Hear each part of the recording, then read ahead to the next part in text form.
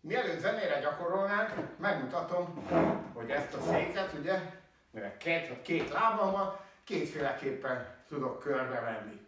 Egyszer úgy, hogy azzal lépek, amelyik a székhez közelebb van, ebben az esetben ugye ez a bal lábam.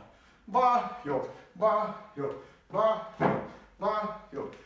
Igen, de az ilyen táncokat, mondhatjuk azt, hogy belső lábas, de lent hangsúlyos. Tehát van ilyen tánc is, sőt meg fogunk majd ismerkedni ilyen táncokkal is. Most maradjunk annyiba, hogy a székelyföldi táncok, vagy a rába közi csárdás is, a Dunántúli csárdásban is van ilyen, tehát hogy belső lábbal lépek.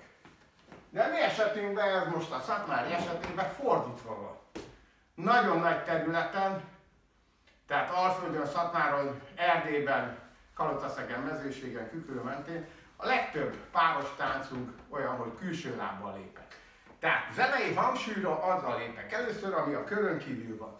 Szól a füge madár, majd csak megbírad már. Visszafele meg balával, gyere, kis angyalok, csókol meg az. Jobb láb, jobb láb, jobb láb, jobb láb, jobb láb, jobb láb, jobb láb. Most meg ballal vissza megyek, egy, két, három, négy, öt, hat. Jó, próbáljuk ezt meg zenére is.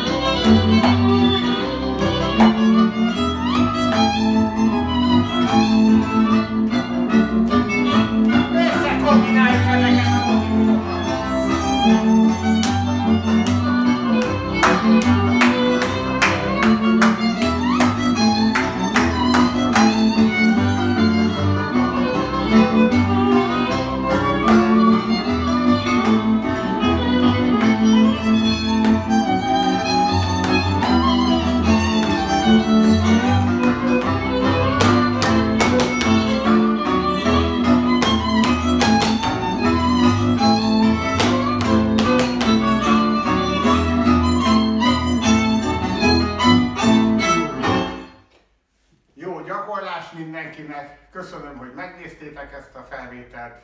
Mindenki vigyázzon magára és maradjon otthon.